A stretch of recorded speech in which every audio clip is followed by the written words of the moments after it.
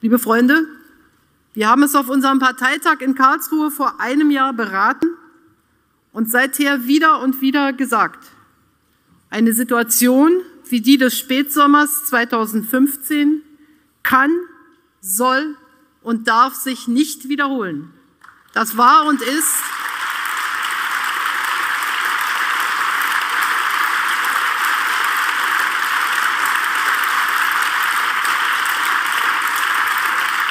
Das war und ist unser und mein erklärtes politisches Ziel.